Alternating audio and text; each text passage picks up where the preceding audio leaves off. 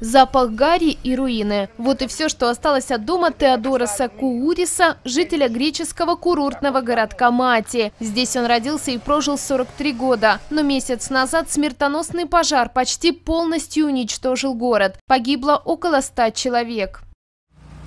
Рабочие расчищают улицы, а строители решают, какие дома еще можно восстановить. Теодорусу не повезло. Его дом идет под снос. Мои корни здесь. Я не согласен с тем, что меня выкорчуют. Я не хочу этого.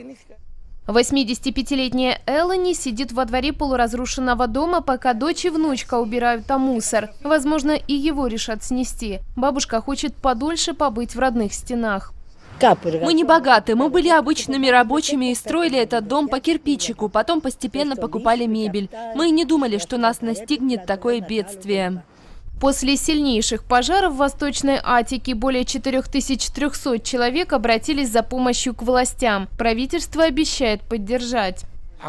Мы слышим много разговоров на эту тему. Надеюсь, хотя бы треть этих обещаний будет выполнена. Тогда мы сможем восстановиться и начать новую жизнь. В Мати приезжали отдыхать пожилые туристы и дети. Местных жителей было немного. Теперь же некогда зеленый городок и вовсе стал похож на город-призрак. К сожалению, здесь стало пусто. Даже люди, у которых дома уцелели, не приезжают. Не потому, что нет электричества или воды. Атмосфера здесь тяжелая. Думаю, пройдут годы, прежде чем мы вернемся к нормальной жизни. Месяц назад в Греции стояла 40-градусная жара. Возможно, она и стала причиной лесных пожаров. За сутки появились десятки огненных очагов. Сложностей добавил сильный ветер, который разносил огонь. Бедствие унесло 96 жизней, более 160 человек пострадали.